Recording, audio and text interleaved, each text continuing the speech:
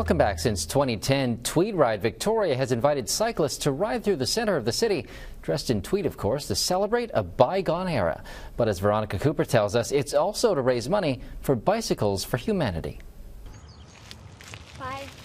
Another cyclist pedals onto the Galloping Goose Trail, and this time the ride will count literally. And then I'll make sure that I count for a female or a child as well as a cyclist. Yeah. During this week in May, we're actually counting cyclists throughout the region.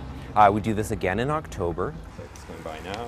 And what we're doing is we're collecting data that we share with the municipalities so they can apply for grants um, and they can also see um, how the improvements that they're making and how what the impact that's making. The counters spread throughout the capital region and on Salt Spring Island are all volunteer.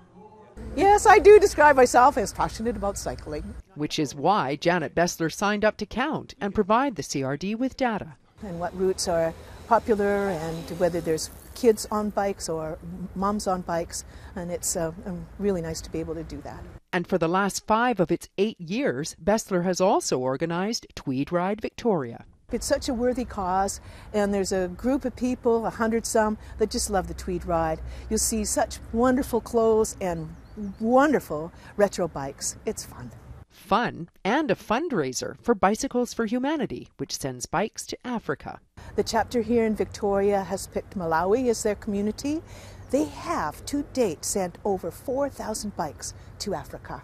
Recyclista, right on the bike path, accepts bikes. This is about a month's worth of donations. Uh, people come and drop off their bikes. Sometimes they come in truckloads which the bike shop then refurbished to send to Africa. They prefer um, like mountain bike tires, fatter tires. I guess the roads are a bit rougher out there. As you probably know, leaving a bike to someone in Africa is huge. A mom can get water, a kid can go to school, and a nurse can go see her patients. The Tweed Ride is Saturday, May 26th. Join the ride or donate cash or a bike through the links tab on our website. Vital People is brought to you in part by the Victoria Foundation, connecting people who care with causes that matter.